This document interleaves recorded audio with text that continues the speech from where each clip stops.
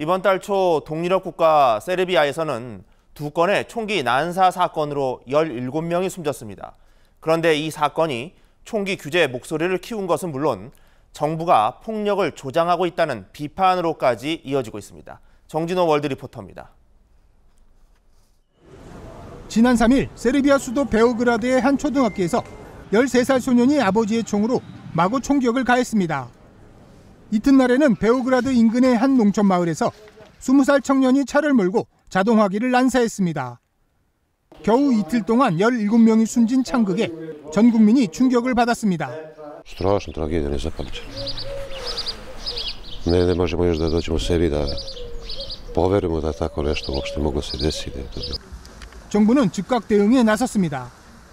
8일부터 총기 자진 반납 캠페인을 벌여 13,500정을 회수했고 캠페인 종료일인 다음 달 8일 이후 불법 무기가 적발되면 징역형에 처하겠다고 경고했습니다. 또 신규 총기 면허 발급을 금지하고 총기 소유주와 사격장에 대한 통제를 강화하기로 했습니다. To je nešto što smo obećali građanima Srbije. To je potrebno, to je važno zbog veće sigurnosti naših građana. 하지만 시민들은 정부의 대응이 부실하다며 수만 명이 모여 규탄 시위를 열었습니다. 시위대는 정부가 국가 분열을 선동하는 등 사실상 폭력을 조장하고 미화한다고 주장했습니다. 특히 친정부 성향 방송사 두 곳에 대한 면허 취소를 요구했습니다. 과거 전쟁 범죄자들을 출연시키는가 하면 총격과 폭력을 다루고 결국 전쟁을 미화한다는 것입니다. 또 관련 부서 장관들의 사임을 촉구했습니다.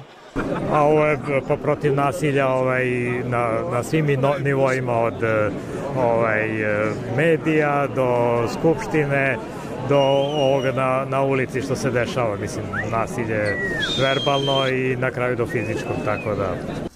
세르비아는 1990년대 내전을 겪으며 그때 동원된 수십만 정의 불법 총기가 수거되지 않은 채 민간에 보급돼 있습니다. 2017년 조사에 따르면 세르비아 시민들의 소형 총기 보유수는 100명당 39.1정으로 세계 5위입니다. 월드뉴스 정진호입니다.